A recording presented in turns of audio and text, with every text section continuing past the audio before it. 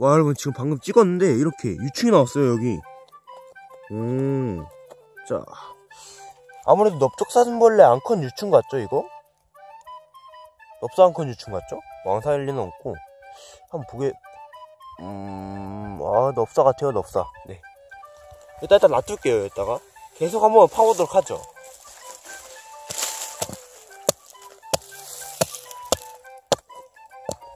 어, 여기 또 나왔다. 오, 이거 찍을 뻔했어, 찍을 뻔했어, 이건. 오. 자, 요 개체들이 넙사 암컷이에요, 넙사 암컷. 오, 다 암컷이네. 쟤도 암컷이네요. 자.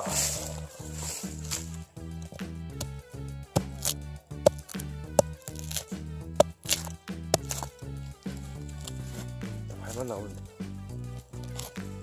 우와. 우와.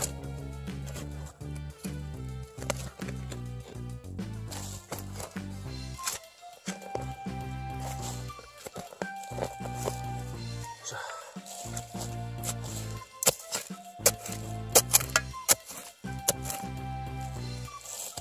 이거 보세요. 와, 구데기 나와요, 구데기. 아, 이게 가끔씩 체크가 나오는 애들인데.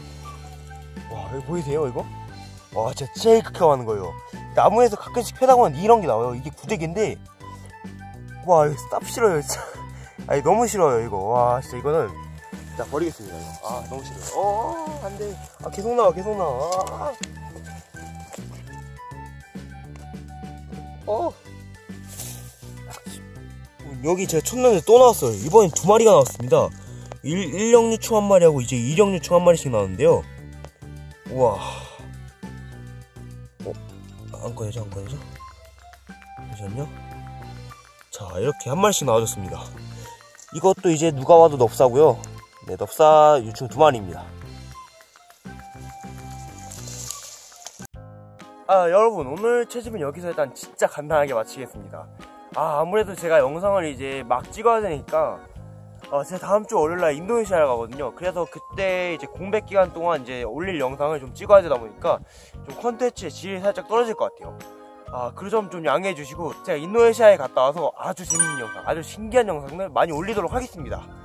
자, 그럼 오늘 영상 여기서 마치고요. 다음 영상으로 다시 돌아오겠습니다. 안녕.